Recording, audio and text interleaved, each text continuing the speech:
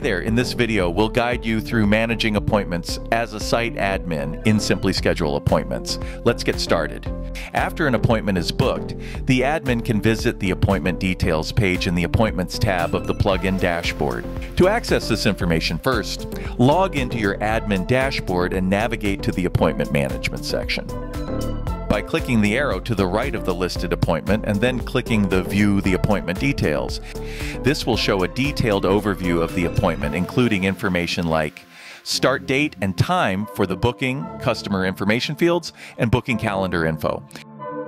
To reschedule an appointment, select the appointment you want to change, then click on View Appointment Details. Then click Reschedule and choose a new date and time for the appointment. Simply Schedule Appointments even has a note field where you can add a note to notify the person of the schedule change. Finally, click Update this appointment and you're all set. The appointment has been rescheduled and the person has been notified if you selected the note field. To cancel an appointment, select the appointment, click on Cancel, and add a note if you wish.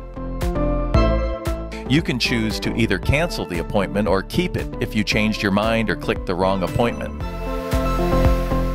So let's say you just want to delete appointments. Say you've created some test appointments and you want to clear up your appointment screen without the option of sending notifications. To delete an appointment, go to Appointment Details, click on the three dot menu, and select Delete. Remember, deleting an appointment does not send any notifications. Simply Schedule Appointments makes it easy to view current and past appointments that you have scheduled. You can even specify a date range for appointments to view. Simply choose the Upcoming Appointments option on the left-hand side, click the arrow, and choose from Upcoming Appointments or Past Appointments. You can even specify a date range for your appointment viewing. For a more detailed search, you can use filters to refine your search within your appointments.